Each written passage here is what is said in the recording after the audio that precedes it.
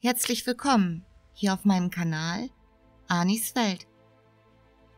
In der Uckermark befinden sich zahlreiche, sehr gut erhaltene Monumente der Megalithenkultur. 15 Kilometer von der Kreisstadt Prenzlau entfernt befindet sich das Großsteingrab Trebenow, was ich heute vorstellen möchte.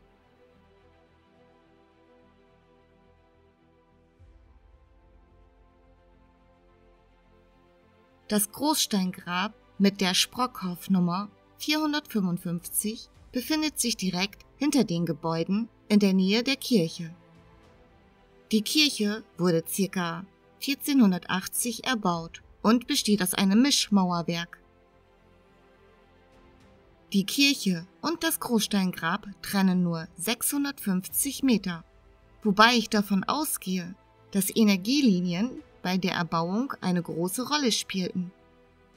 Bei dem Steingrab handelt es sich um einen Urdolmen, der in Nord-Süd-Richtung ausgerichtet ist. Er besteht aus drei Tragsteinen, die 2,30 Meter und 1,90 Meter lang sind.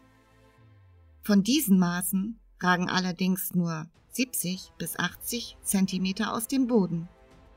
Ein etwa drei Meter großer Deckstein mit einer Dicke von 60 cm bis zu 1,5 Meter liegt auf den drei Tragsteinen.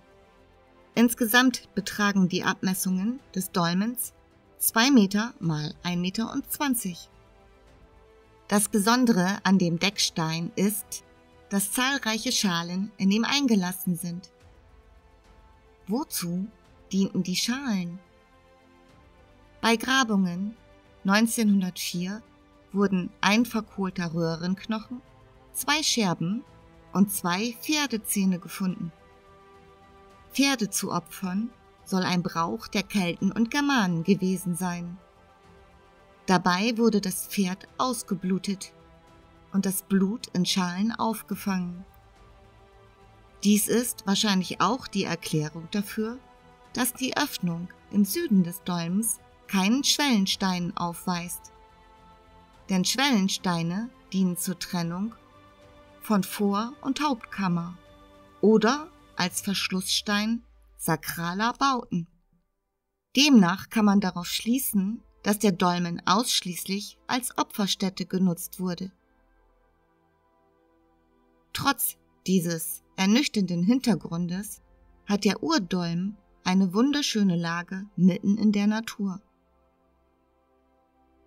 Besonders schön ist die Unterseite des Decksteines aus Granit. In diesem Deckstein befinden sich dunkle Sprenkel und rote Maserungen. Sie sind gut zu erkennen, wenn man sich in den Dolmen legt.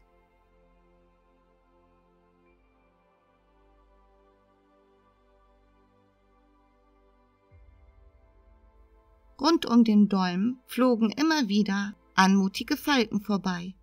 Das war wunderschön zu beobachten.